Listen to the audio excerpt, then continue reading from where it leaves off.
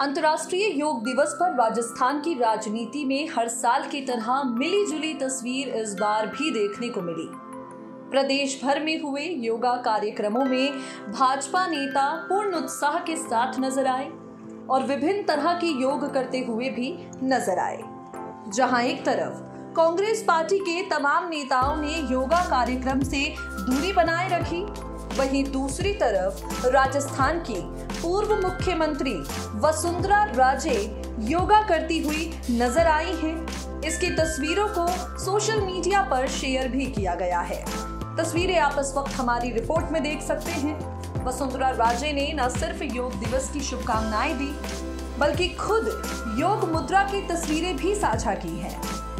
वसुंधरा लिखती हैं कि योग भारतीय संस्कृति की ऐसी प्राचीन विधा है जो मानव अंगों को नई ऊर्जा से भर देता है इस अवसर पर मेरी सभी से अपील है कि जीवन में शारीरिक, मानसिक एवं आध्यात्मिक संतुलन को बनाए रखने के लिए योग को नियमित दिनचर्या का हिस्सा ज़रूर बनाएँ।